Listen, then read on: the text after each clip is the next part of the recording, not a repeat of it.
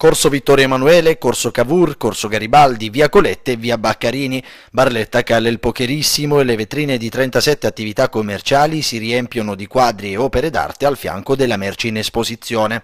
Dalla riflessione sugli spazi nasce Voglia d'Estarte, manifestazione che fino al 25 giugno vedrà circa 60 opere proposte dalla Art Gallery 56 di Nunzia Chieppa nei negozi del centro. Protagonisti, modelli e stili contemporanei che propongono una discontinuità della visione, indagando il rapporto tra spazio interno e esterno e la proiezione nella dimensione fittizia dell'opera d'arte.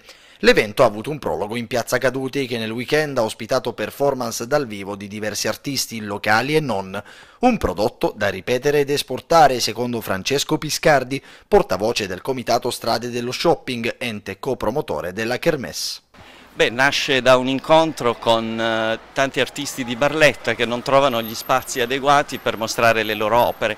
Poi pensiamo che l'arte come senso è un senso di cultura e comunque fa parte di quello che è il vivere quotidiano della città.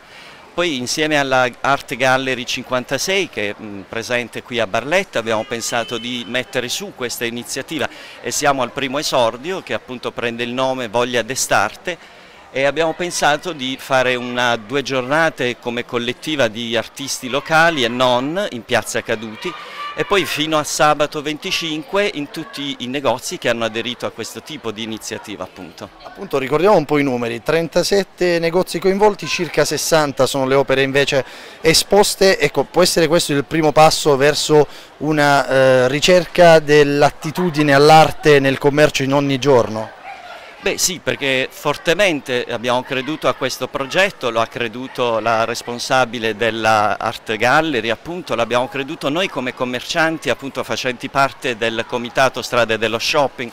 Poi una citazione di Oscar Wilde dice la bellezza salverà il mondo quindi noi riteniamo che eh, potendo esprimere queste opere, che credo sono delle opere meravigliose, invitiamo tutti i cittadini e non a visionarli presso i nostri negozi, possiamo dare solo un senso di lustro e di cultura alla nostra città.